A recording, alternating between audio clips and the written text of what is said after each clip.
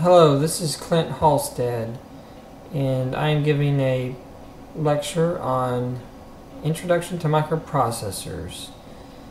And I will be using, um, we'll be discussing PIC uh, 16F parts and 18F parts in this course. For this chapter, we'll just be discussing uh, 16F parts mostly. Um, we're going to be using the book called uh, Designing Embedded Systems with PIC Microcontrollers, Principles, Principles and Applications, second edition by Tim Wilmshurst. Um, this chapter is chapter 2, It'll be introducing the PIC mid-range family and the 16F84A. This chapter aims to introduce the PIC mid-range family, to talk about the overall tech architecture of the 16F84A, the memory, um, things like status register, SRAM, EEPROM, double EEPROM, program memory, stack, special function registers, uh, addressing, configuration word, oscillator pipelining, power on reset, uh, reset, master clear, power up timing. This lecture will only cover the first two sections of the book, so let's let's get started. Okay, so in chapter 29 on, in the book, it shows a table of several different parts. Um, this list shown here is not exhaustive, is not the exact one in the book, it only shows the first few. But the, the first part we'll talk about is the 16F84A. Now, this is the chip we're going to start using in the class. Um, it's the reason we're using it is because it's one of the sim- simplest chips, and uh, by using this simple chip, um, it's going to make it easier to learn. But everything you learn about this smaller smaller microprocessor is directly applicable to the larger microprocessors, and it forms actually a part of it. So the larger processors have uh, more peripherals, but the everything else is the same. The, the the core of the processor is the same. Um, the fundamentals of how the stack work, how the RAM work, all that stuff is the same.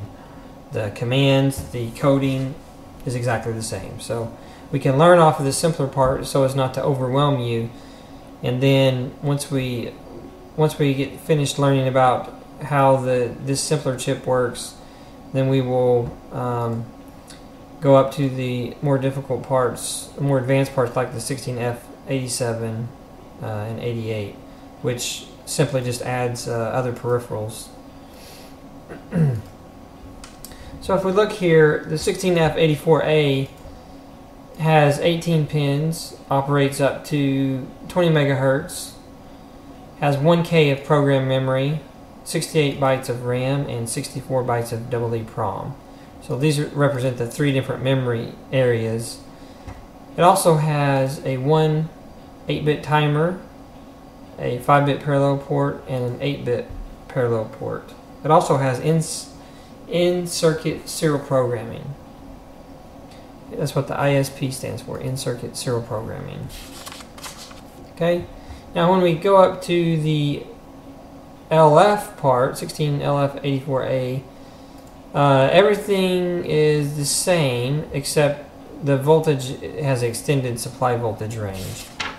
Okay, and um, then when we move on to the 16F84A-4, it's the same, but it has a different clock range. So the the A-04 only goes up to 4 megahertz.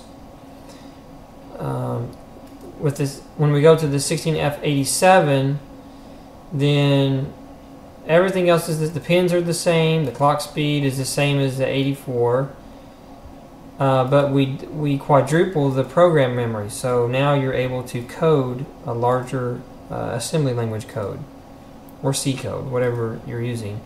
Also, the number, the file registers, also called RAM, has been increased significantly to 368 bytes.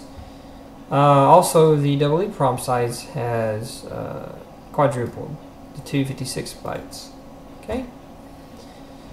Also, we've added quite a few more peripherals and advanced technology. So notice that we have now two parallel ports. Um, we have, whereas before we had one full parallel port and then a partial and other parallel port. Usually, you know, 8 bits is considered a full parallel port. So uh, we have two full, um, or we still have, actually we still have two parallel ports as before, but now we have three counter timers instead of one.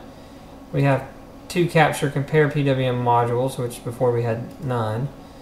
We have two serial communication modules, uh, which before, again, we had none. Two analog comparators, which in the 84, again, had none. It also has the nano, nanowatt technology, which is an improvement over the 84. We have a software selectable oscillator block, so we can select our oscillator in uh, software programming by using this code or similar, language code to select the oscillator block. So that's a big advantage. And again, we still have the in-circuit serial programming. This just allows you to program the part through two pins, uh, clock and data, using your uh, your uh, USB module that connects to your computer. Uh, so it's a PICkit 2 or PICkit 3 or whatever whatever you're using. Um, then notice when you go to the 16F84 part, you still have 18 pins, you still have the 20 megahertz, memory is the same, but you add uh, these 10-bit uh, ADC channels. So you have seven 10-bit ADC channels. So, and those seven channels are muxed, so it's not actually seven individual. It's not seven analog to digital converters inside the chip. It's actually one analog to digital converter, but it's it's multiplex so that you can switch channels between pins. So now the book talks about several other different packages. It talks about the 873. Uh, I'm sorry, the 16F873, 16F876. 16F874, 16F877, uh, and even the 16F88X parts. And you can look at the book on pages 29 and 30 for those. also, um, here, this slide is showing the pin connection diagram. Uh, the, notice that the first chip we looked at was a a 12F part, which was in chapter 1. So if you go back to chapter 1 and compare, that's on page 18, you'll be able to see that uh, the 12F508 part uh, only had 8 pins, and many of those pins were had multifunction pins. So the so for example, the 12F508 on page 18 uh, had a ma- it had a master clear, but it was shared with VPP and general purpose GP3. So notice on this this part we have a dedicated master clear right here on pin one, two, three, four, pin 4 of the master clear. Um, so that's that's a nice feature. Also, we have noticed that we have um, a dedicated oscillator pins and clock pins, whereas before these pins were shared with some other like uh, output pins, uh, input output pins. So that's a, that's a really nice feature to have. So you don't have to use up your parallel port pins uh, for your clock or oscillator. Also notice on this chip that you have also, we've added an interrupt pin, this INT, which we'll talk about interrupts later, but on uh, the RB0 through 7 is called port B, so this makes up port B. Pins 7, 8, 9, 10, 11, 12, 13 is, is considered port B. And then we have a port A, which is um, 17, 18, 1, 2, and pin 1, 2, and 3, that gives us uh, port A, so it's a 5-bit Um, then of course we have supply voltage VDD, and then we have ground VSS, and that makes up uh, pretty much all the pins. Okay. All right, so, and this chip is the 16F84A, by the way, um, which is going to be the first chip that uh, we talk about, and we're going to give some examples and, and some coding in the class.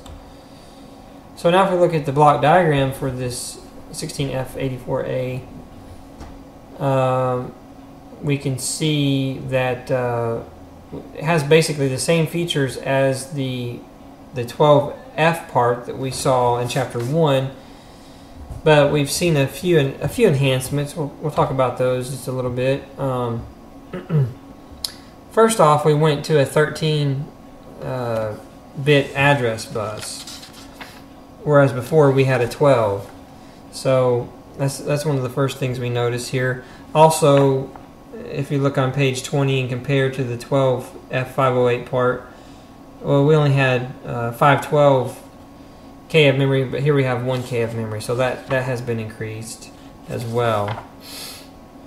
Also, we've added an 8 level stack, whereas before we only had 2. Okay. Also, we have um, added an EEPROM section this is a uh, electronic, electronically erasable programmable read-only memory. That's what EEPROM stands for. And it's connected here to the data bus, so you can you can send a data word here from the data bus, and you can send a data address, and you can access your uh, EEPROM. This is data you can store to the chip that will will not go away when power is removed from the chip. Now, any data you have in the RAM will go away when the power is disconnected. Okay, so many times here in the EEPROM we may want to store messages like hello, uh, this is rocket sat-c uh, program rocket or something like that or maybe your name or the, the name of your project. Um, whereas your your C code or your assembly language code is going to go in your flash memory here.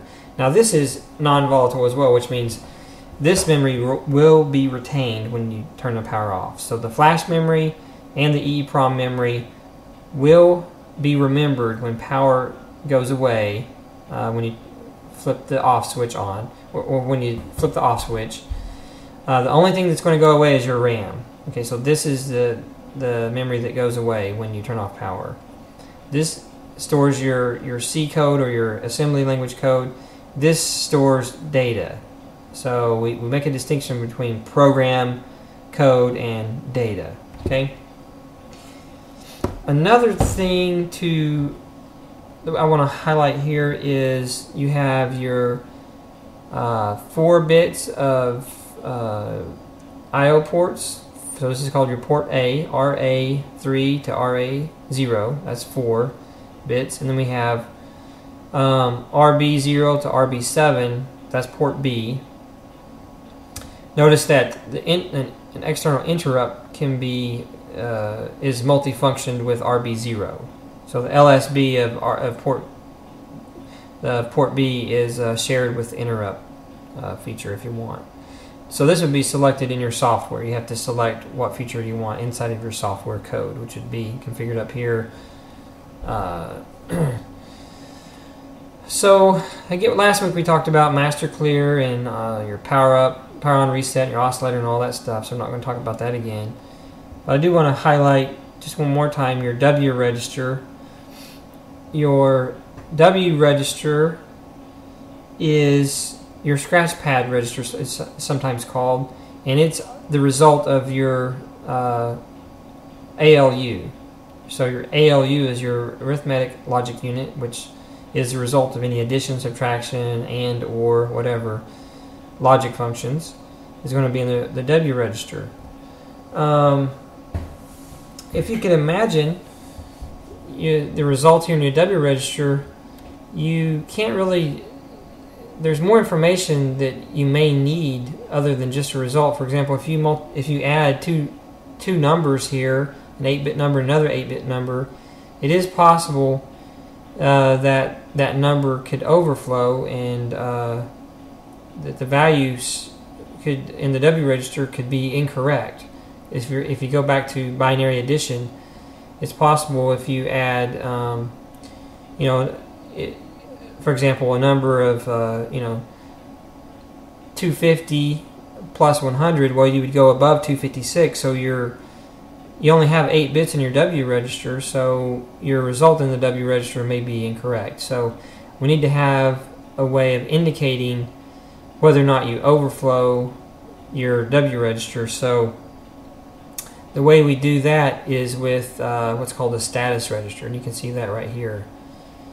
So we want to talk a little bit about the status register today.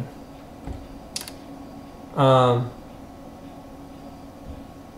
so your status register uh, looks like this. It has 8 bits. And we want to talk about the first 3 bits um, that has tells you whether the result in the in your W register is 0 or not. So if your result is 0, then it's going to be indicated by this bit 0, 1, 2. So this bit, bit Z, it's called bit 2. It says the result of an arithmetic or logic operation is 0. So if that is set to a 1, then you have uh, the W register is zero. Otherwise, it would be if this bit is set to zero, it means well the result is not zero. and for bit one, which this is bit one, this is called a digit carry, and this means that a carry from the fourth low order bit of the result occurred. So a carry out from the fourth low order bit of the result occurred. That's talking about the fourth uh, low order bit is the fourth low order low order bit of the W register. Okay, and then a, and then bit zero, which is the C bit here, is um, the carry borrow bit.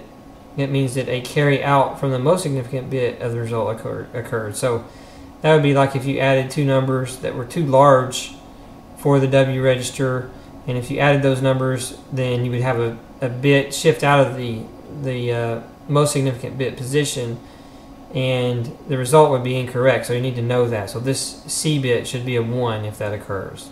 Okay? So these are called your con condition code flags, and it's called the status register. And again, the status register is located here in the block diagram. Okay? Also, just wanted to detail a little bit more about the block diagram. Notice that the, the in the flash memory, the instruction word here uh, flows out here. This is where the address comes into the flash memory. This is where the data comes out. So this is a 14-bit instruction. It comes into the instruction register. And then uh, from the instruction register, like we talked about last week, you have um, you have a literal data that flows along this line. You have address information that flows along this line, gets muxed into your RAM registers and then you have instruction information that flows into the decode register. Okay, so that is it for sections 1 and 2 uh, of the Wilmshurst textbook. And this lecture will be continued in a, a next video series. Thank you.